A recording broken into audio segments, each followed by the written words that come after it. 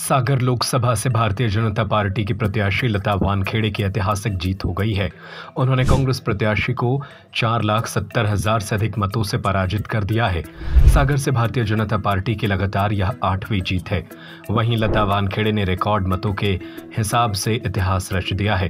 पहली बार कोई प्रत्याशी इतने अधिक वोटों से विजयी हुआ है। भाजपा प्रत्याशी लता वानखेड़े को करीब सात लाख चौरासी हज़ार वोट प्राप्त हुए हैं। तो वहीं कांग्रेस के गुड्डू राजा बुंदेला को भी तीन लाख पंद्रह हज़ार से अधिक मत प्राप्त हुए हैं। तीसरे नंबर पर बसपा के प्रत्याशी को भी करीब सोलह हज़ार वोट मिले हैं।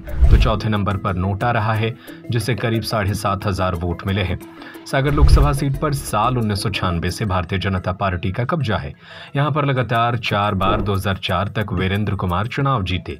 साल 2009 में भूपेंद्र सिंह ठाकुर सांसद बने थे। इसके बाद 2014 में लक्ष्मी नारायण यादव और 2019 में राज बहादुर सिंह को सागर की जनता ने दिल्ली भेजा था। लता वानखेड़े की जीत के साथ सागर को दूसरी महिला सांसद मिली है और यह भाजपा की पहली महिला सांसद है। इससे पहले सहोदराबाई राय साल उन्नीस और उन्नीस सौ अस्सी में सागर से सांसद रह चुकी हैं।